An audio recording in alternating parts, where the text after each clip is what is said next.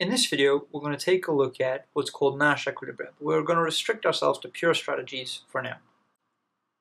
So let's consider this game, but different to what we've been doing so far in this game, we're going to assume players are trying to minimize their score. I could easily just multiply everything by minus 1 and have the same thing, but we're just going to try and minimize. So if uh, the second player is trying is defecting, is playing this strategy, which is called defect when you talk about this in terms of a prisoner's dilemma, then what is player 1's best response? Well, player 1 is comparing 5 and 4. 4 is less than 5, so player 1 should defect. So we're going to just mark that and remember that. Similarly, if uh, player 2 is cooperating, now player 1 is comparing 2 and 0, and so player uh, 1 should also um, defect. So we'll remember that. And then if we swap this and we say, okay, if we know that player 1 is playing the second row, what should player 2 do? Well, they should play, um, they should defect. And similarly with the first row. And so what we have here is a pair of best responses. So this is one uh, set of utilities where we've circled both um, utilities. So this is a pair of best responses, and that is referred to as a Nash equilibrium, when we have two strategies that are a best response to each other.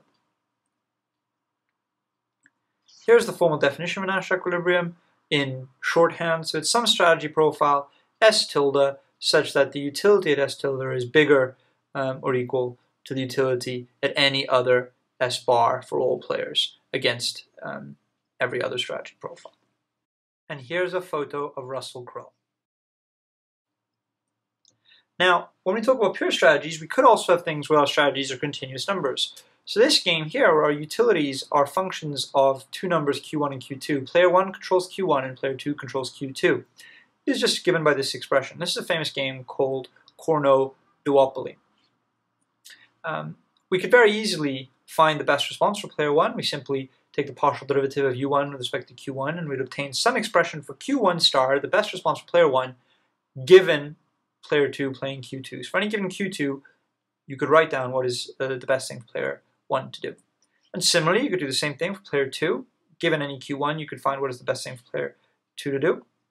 Won't go into the details here, they're in the notes. And what you could then find is a Nash equilibrium, which is this intersection of best responses. So it's a Q1 that's a best response to Q2 and a Q2 that's also a best response to Q1. And we can get that by doing some very basic uh, calculus in algebra.